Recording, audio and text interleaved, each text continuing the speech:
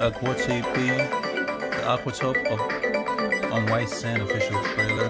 You see it looking like a maiden. Nice when you go to the beach right here. We see um, a parrot look-alike creature right here. They're tapping their face.